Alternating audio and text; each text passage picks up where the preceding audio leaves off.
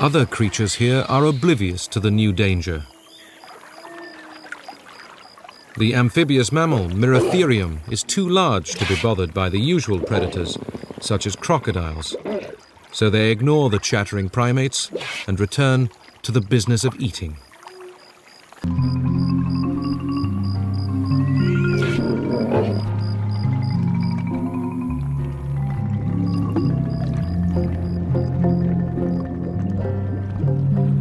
By contrast, the water isn't usually dangerous for the Moeritherium. They spend most of their day here.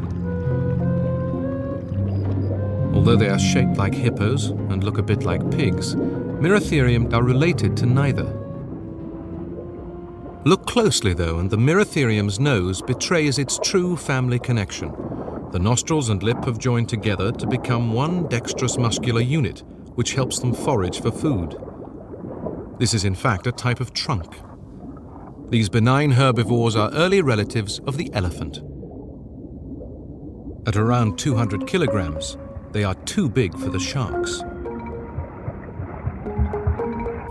One Moeritherium heads off for pastures new.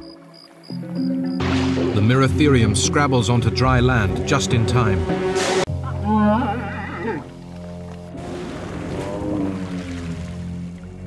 But the hungry Basilosaurus isn't about to give up yet.